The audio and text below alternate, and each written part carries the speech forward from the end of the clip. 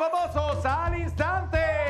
Vénganse para acá que les tengo información muy importante ¿Qué de? Cabá porque resulta que fueron invitados este 28 de noviembre a Qatar, pero ellos lanzaron un comunicado en donde ellos decidieron pues declinar esa invitación. Exactamente, ellos lanzaron ese comunicado diciendo que, bueno, habían sido invitados en esta fecha a Qatar en uno de los eh, lugares eh, donde están los, eh, los fandom. Dice, tenemos en el corazón del mismo, todos tenemos el corazón del mismo lado. Eso es lo que ha sido la bandera de Cabá, aunado al respeto y a la inclusión.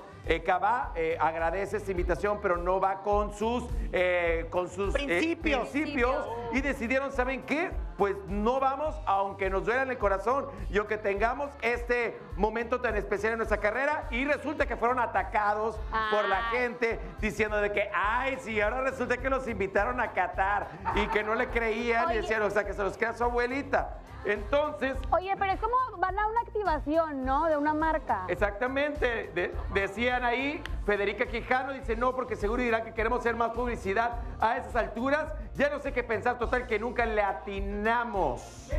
¿Cómo que activación? ¿Van a dar a probaditas de jamón? Algo de claro.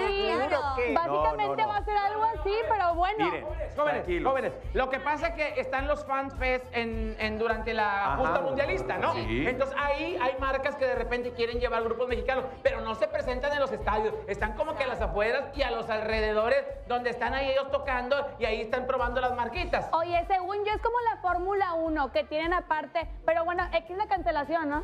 Pues No. mira, A ver, no. Está bueno igual que Lo cierto es que muchos artistas declinaron la invitación, como Shakira, Dua Lipa, Lipa. ellos formaban Oye, parte de este a ver, yo voy a decir algo y que les quede bien claro. Independientemente si iban a una activación, como están diciendo aquí, minimizando el trabajo de ellos, No. independientemente de eso, qué bueno que los invitaron y que se fijaron en ellos para ir a esta justa Claro. mundialista. Exactamente, La que los verdad. consideraron Así y para llevarlos a otro lado del mundo a llevar su música y su arte. Ellos declinaron bien por ellos, son sus creencias. Muy bien, Cabá, pero de los que también andan ahora ya en